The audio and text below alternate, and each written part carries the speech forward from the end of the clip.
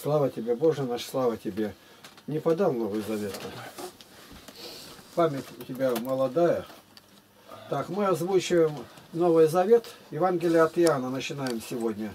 Это последняя книга, которая у нас не насчитана с толкованием. Вот, это у нас трехтомник. Вот, показать, как он у нас выглядит, трехтомник. Вот, полное толкование на весь Новый Завет с откровением. Даже не верится, что в одном комплекте это вышло. И тут же 240 иллюстраций. Что сдвинулось? Гестава Дарея такие. Так, номер первый. Евангелие от Иоанна. Предисловие. Сила Духа Святого, как написано 2 Коринфянам 12.9. И как веруем, совершается в немощи. В немощи не тела только, но и разума, и красноречия, это видно как из многого другого, так особенно из того, что благодать показала на великом богослове и брате Христовом. Отец у него был рыболов. Сам Иоанн занимался тем же ремеслом, промыслом, каким и отец.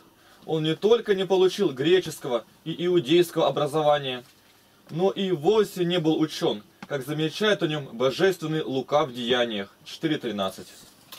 Да и отечество его самое бедное и незнатное, как местечко, в котором занимались рыбной ловлей, а не науками. Его произвела на свет Вивсаида.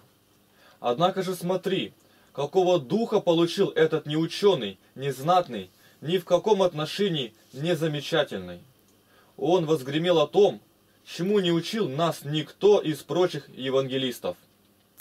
Так как они благовествуют о воплощении Христовом, а о предвечном его бытии не сказали ничего довольно ясного и наглядного, то угрожала опасность, что люди, привязанные к земному и не могущие помыслить ни о чем высоком, подумают, что Христос тогда лишь начал свое бытие, когда родился от Марии, а не родился от Отца прежде веков. В такое заблуждение, как известно, впал самосадский Павел. Посему великий Иоанн возвещает о горнем рождении – не применув, впрочем, упомянуть и о воплощении Слова. Ибо говорит, «И Слово стало плотью». 1.14. Иные говорят, что православные и просили его написать о горнем рождении, так как в то время появились еретики, учившие, что Иисус был простой человек. Говорят также, что святой Иоанн, прочитав Писание прочих евангелистов, поделился подивился истинности их повествования обо всем и признал их здравомысленными и не сказавшими ничего в угоду апостолов. Впрочем, о чем они неясно сказали или совершенно умолчали, то он распространил, уяснил и прибавил в своем Евангелии, которое и написал в то время, как находился в заточении на острове Патмосе, спустя 32 года по вознесении Христовом. Иоанн был любим Господом более всех учеников за его простоту, кротость, добродушие и чистоту сердца, или девство.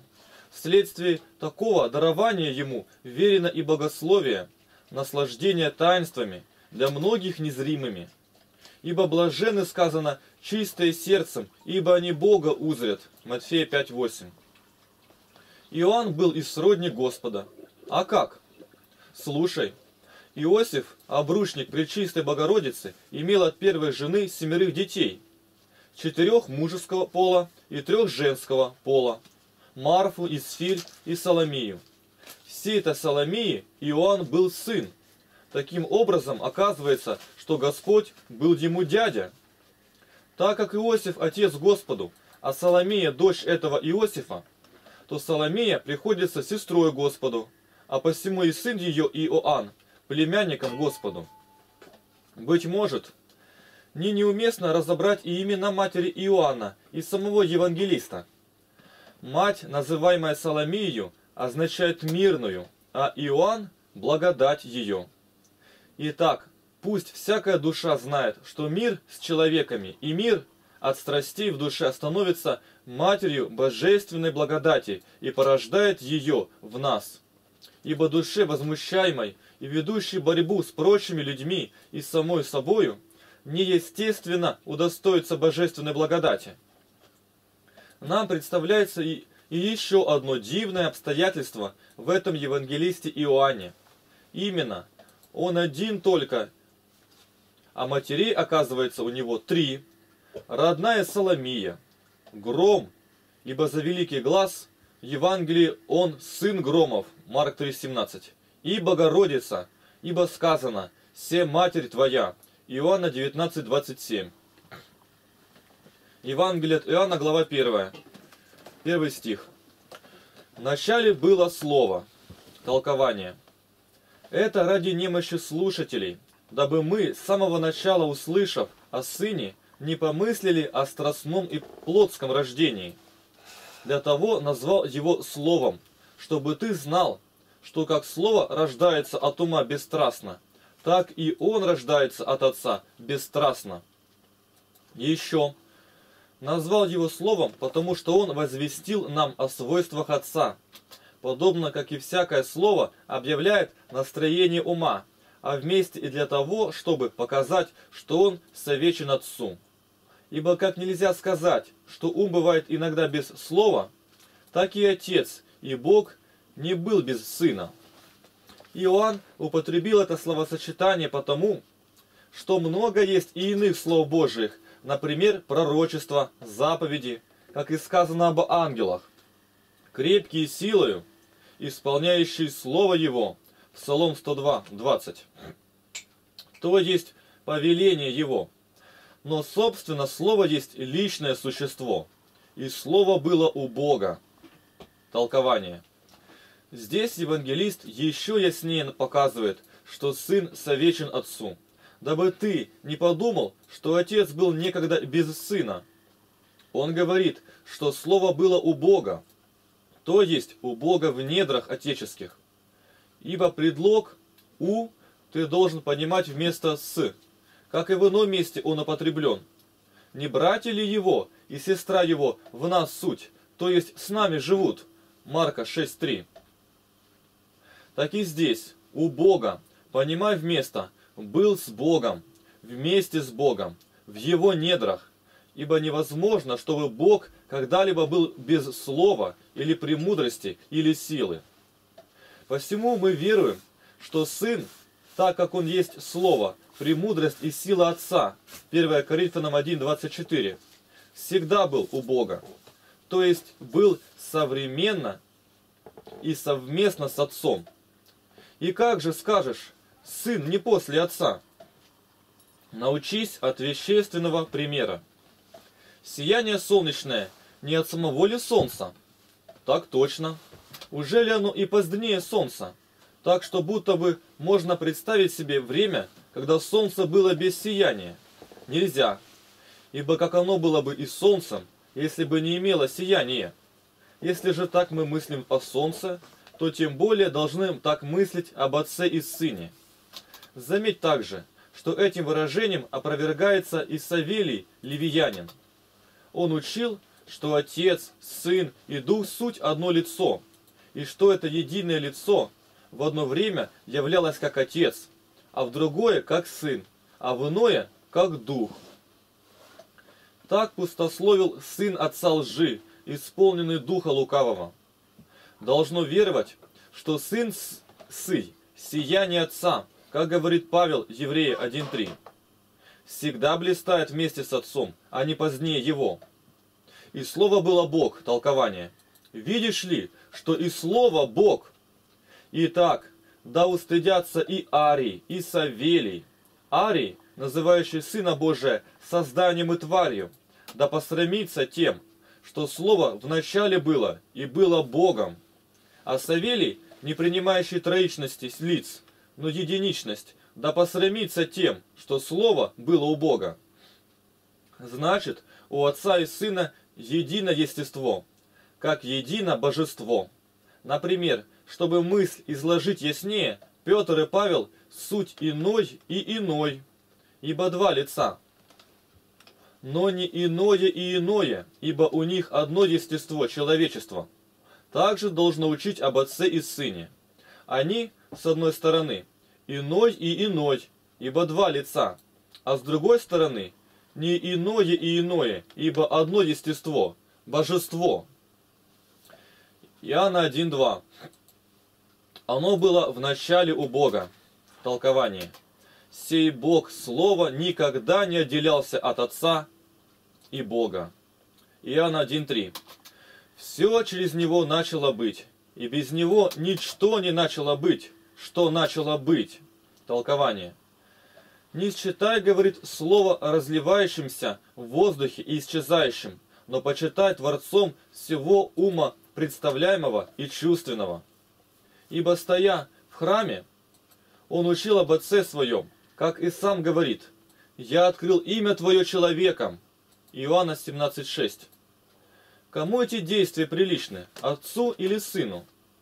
Все сыну, ибо он в учении возвестил имя Отца. Сказав это, блаженный Давид присовокупляет и то. «Вначале Ты, Господи, основал землю и небеса, дело рук Твоих». Далее. «Все через Него начало быть». Толкование. Моисей, говоря о видимой твари, ничего не объяснил нам о тварях умопостигаемых. По великий евангелист сказал, что Слово сотворило все, то дабы кто не подумал, что и Духа Святого оно же сотворило, прибавляет, все тем было. Что же все? Сотворенное. Как бы так он сказал, что не есть в сотворенной природе, все это получило бытие от слова. Посему хитрое умозаключение Порфирия язычника распадается само собою. Он, пытаясь не спровергнуть Евангелие, употреблял такое разделение. Если Сын Божий есть Слово, то или произносимое, или внутреннее Слово. Но Он не то, ни другое. Следовательно, Он не есть Слово. Но Дух не принадлежит к сотворенной природе. Почему Он не от Него и бытие получил? Иоанна 1.4 В нем была жизнь, и жизнь была свет человеков. Толкование. Евангелист называет Господа жизнью, как потому, что Он поддерживает жизнь всего, так и потому, что Он подает жизнь духовную всем разумным существам. И светом, не столько чувственным, сколько умным, просвещающим самую душу. Не сказал, что Он свет одних иудеев только, но всех человеков. Ибо все мы люди, так как получили ум и рассудок от создавшего нас Слова, называемся посему просвещаемыми от Него. Ибо разум, данный нам, по которому мы и называемся разумными, есть свет, руководящий нас в том, что должно и чего не должно делать. Иоанна 1.5 «И свет во тьме светит, и тьма не объяла его». Толкование. Свет, то есть Слово Божие, светит во тьме, то есть смерти и заблуждений, ибо он, и подчинившись смерти, так преодолел ее, что принудил ее избавлевать и тех, которых она прежде поглотила. И в языческом заблуждении сидит проповедь, и тьма его не объяла, ни смерть не преодолела его, ни заблуждение. Ибо свет этот, то есть Слово Божие, непреоборим. Некоторые тьмою считали плоть и земную жизнь. Слово сияло и тогда, как стало во плоти, и было всей жизни. А тьма, то есть противоположная сила, искушала и преследовала свет. Но нашла его неодолимым и непобедимым. Тьмой называется такова плоть не потому, будто она такова по естеству, да не будет, но по причине греха, ибо плоть, доколе управляется законом природы, не имеет решительно никакого зла, но когда подвигнется за предел природы и служит греху, становится и называется тьмою.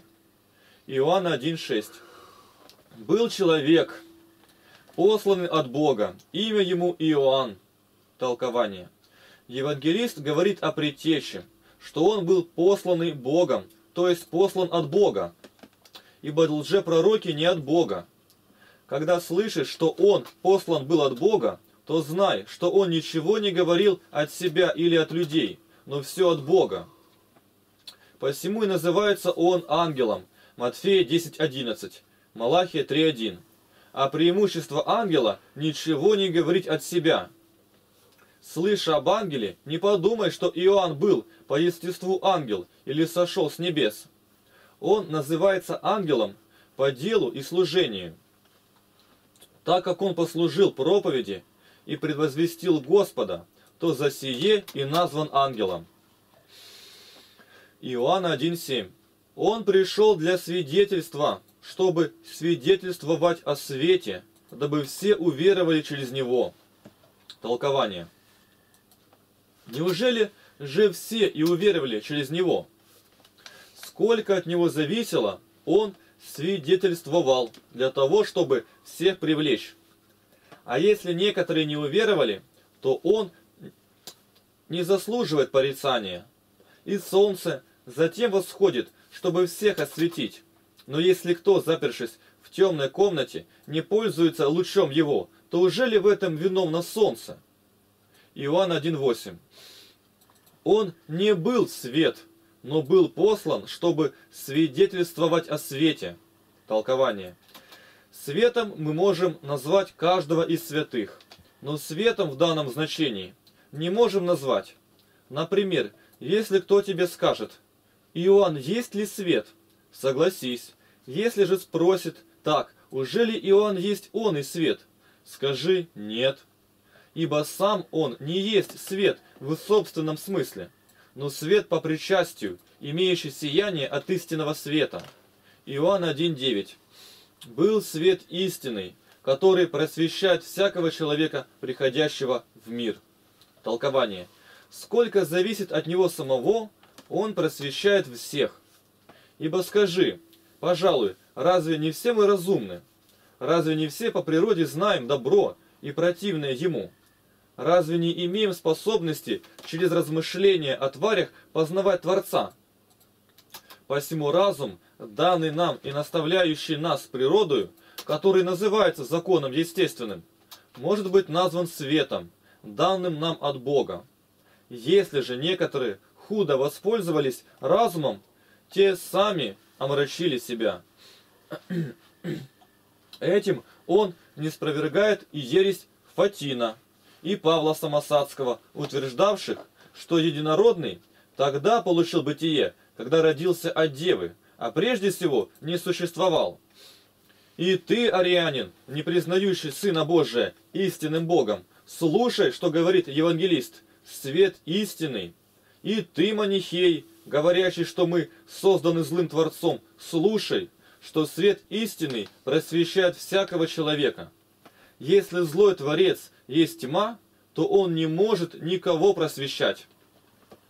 Иоанн 1.10 В мире был, и мир через него начал быть. И мир его не познал, но мир его не познал. Толкование говорит. То есть худые люди, занявшиеся мирскими делами. Но все святые и пророки познали. Со всех сторон подоказывают, что он, Творец, отстраняя в одно время и безумие Манеса, говорившего, что все произвел злой Творец, и безумие Ария, называвшего Сына Божия тварью, а вместе и всякого человека, приводя к исповеданию Творца, научая не служить тварям, но поклоняться Создателю. Иоанна 1.11 пришел к своим, и свои его не приняли. Толкование. Здесь евангелист очевидно ведет речь о домостроительстве, спасении во плоти. И весь порядок мысли такой. Свет был истинный в мире, без плоти, и не был познан. Потом пришел к своим с плотью. Под своими ему можешь разуметь или весь мир, или Иудею, которую он избрал, как долю наследия, как участок и собственность свою. Будучи, говорит, своими ему, не все приняли его, ибо Господь не привлекает никого насильно, но предоставляет на собственное усмотрение и произвол. Иоанна 1.12. А тем, которые приняли его, верующим во имя его, дал власть быть чадами Божиими. Толкование. Тем, которые приняли его, рабы ли они, или свободные, отроки или старцы, варвары или греки, всем дал власть соделываться чадами Божьими. Для сохранения чистоты недостаточно креститься, но нужно много старания, чтобы сохранить неоскверненным образ сыноположения, начертанный в крещении.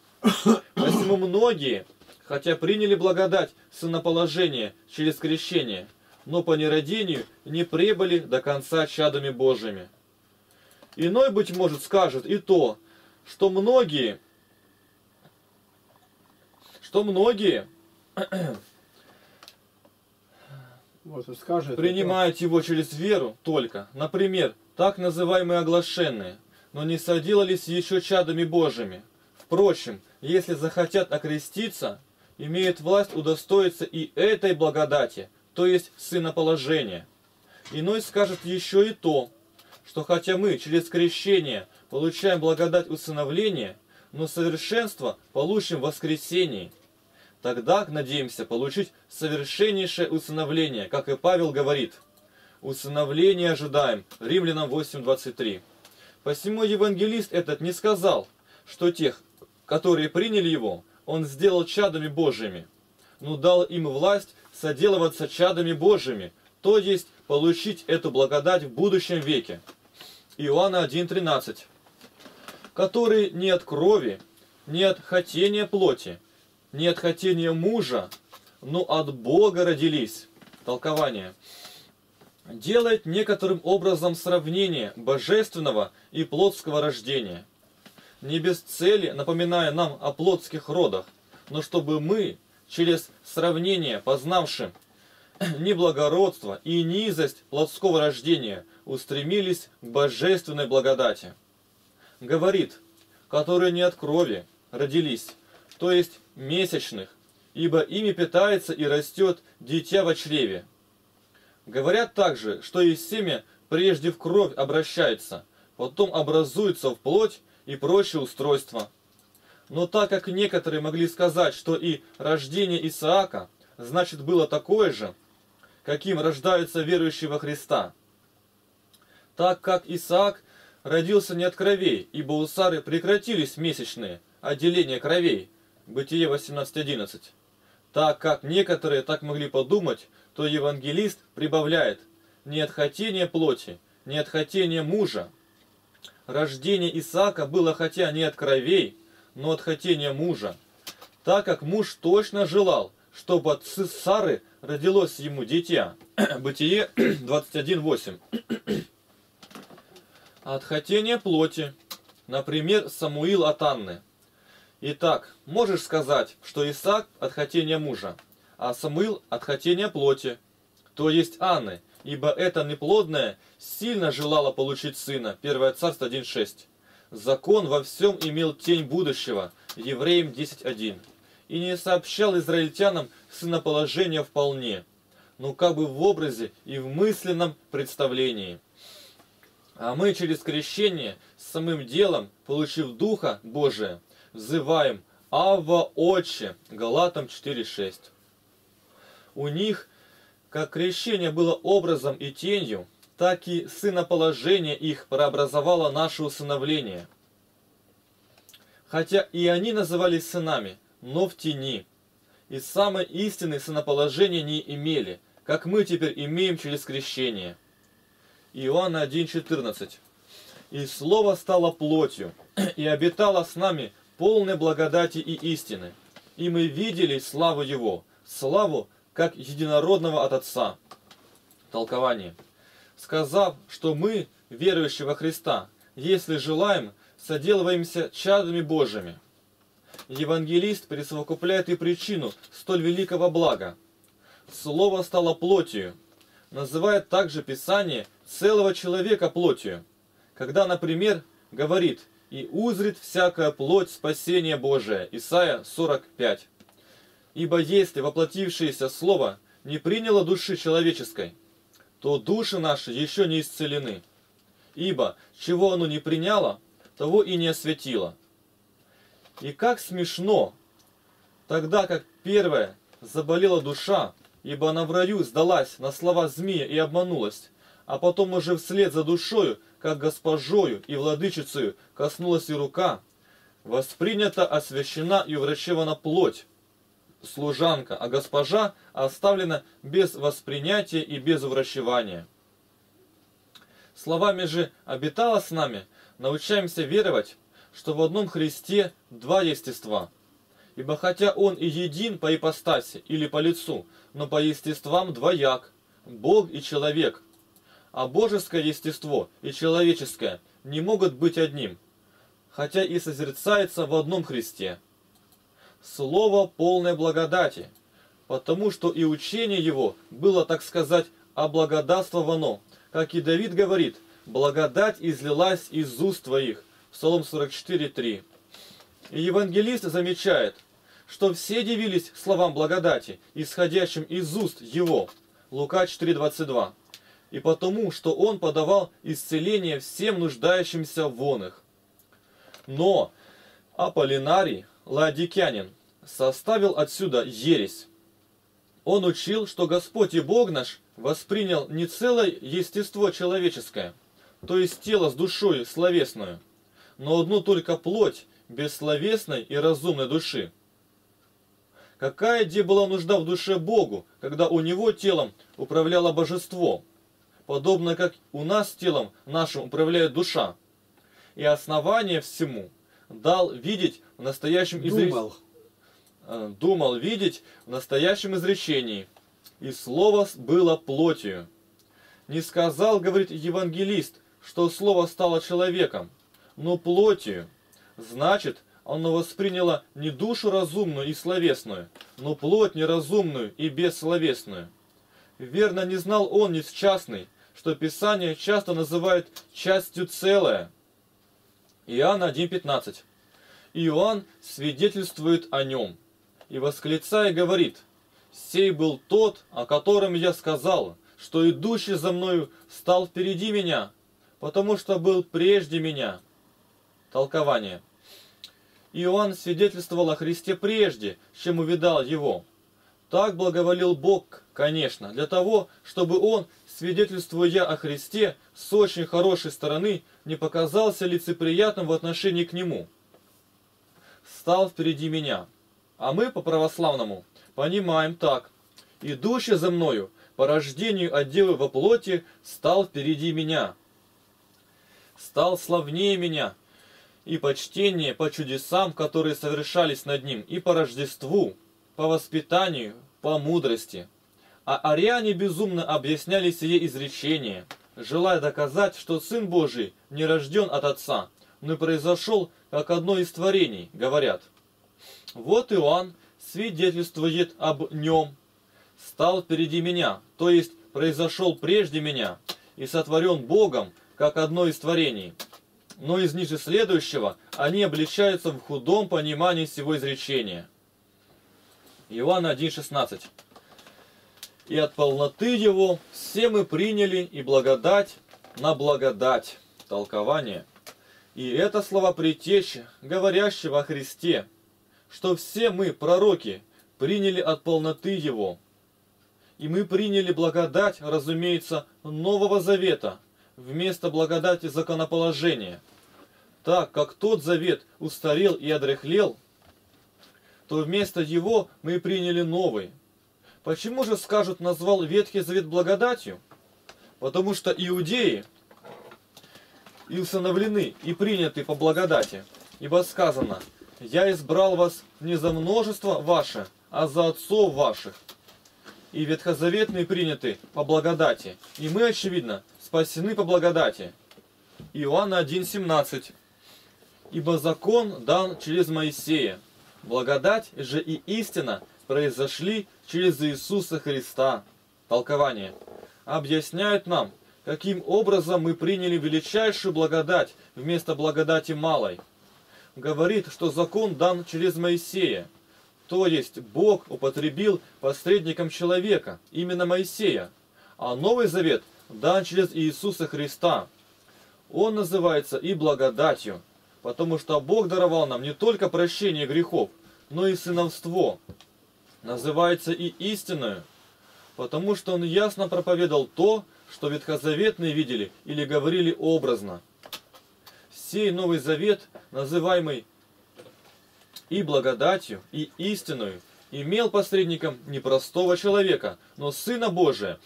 Примите то, что о Ветхом Законе сказал, дан через Моисея, ибо он был подчиненный и слуга. А о Новом не сказал дан, но произошел, чтобы показать, что он произошел от Господа нашего Иисуса Христа, как от владыки, а не от раба, и в конец достиг благодати и истины. Произошли знак самостоятельности. Дан-рабство. Иоанна 1.18. Бога не видел никто никогда. Единородный Сын, сущий в недре отчим. Он явил, толкование, Моисей, как и никто другой, ни Бога не видел, ни нам не мог сообщить о нем ясного и наглядного понятия. Но, будучи рабом, послужил только к написанию закона. А Христос, будучи Сыном Единородным и находящимся в недре Отца, не только видит Его, но и всем людям ясно говорит о Нем. Как же пророк говорит, «Видел я Господа» Исайя 6.1. Пророк видел, но не самую сущность, а некоторые подобие и некоторое умственное представление. Насколько мог видеть? При том же иной видел в том образе, а другой в другом. А отсюда явно, что они видели не самую истину, ибо ее по существу, простую и безобразную, безобразную, не созерцали бы в разных видах. И ангелы не видят сущности Бога, хотя и говорится о них, что они видят лицо Бога. Матфея 18.10. Сим указывается на то только, что они всегда представляют в уме своем Бога. Итак, один только Сын видит Отца и являет Его всем людям. Слыша о недре Отца, не представляя ничего телесного в Боге, евангелист употребил такое название с целью показать средства, нераздельность и совечность Сына с Отцом. Все. Я вижу, помещаю.